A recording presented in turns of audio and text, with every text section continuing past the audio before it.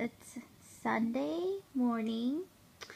This chubby butt woke me up at 6 a.m. to take her out, and then she entertained herself for a good couple of hours. And she's now pretty tired. She's slowly falling asleep. Nori, are you sleepy? Yeah? Chubby butt. Chubby butt? Nori-chan. You sleepy now? Wanna come? Nori?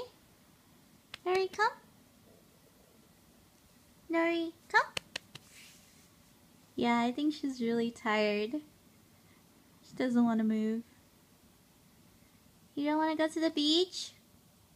Hmm? Okay, we'll let you take a nap then. Good night, Nori.